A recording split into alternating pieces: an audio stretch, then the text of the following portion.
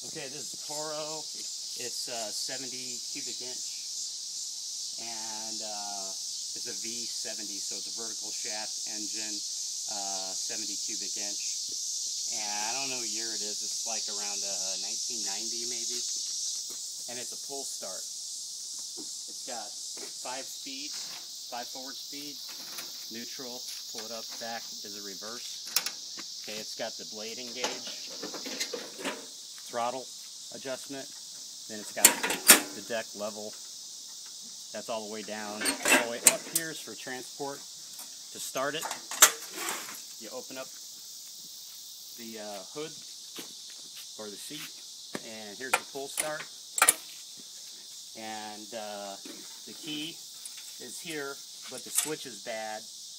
And all you got to do to shut the engine off is choke it out. And I'll show you when I come back around here, I'll get off and choke it out, show you how to stop it. So here goes, it's cold engine, here's the muffler, I'm touching it, it's cold, hasn't been started for a while, let's see if it runs. It's usually about three or four pulls and it'll start up.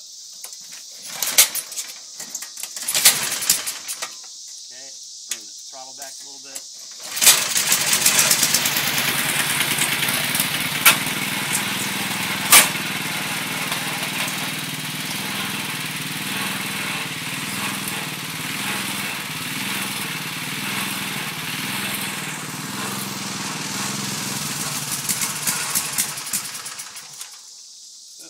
Choked it out. A little bit too much choke.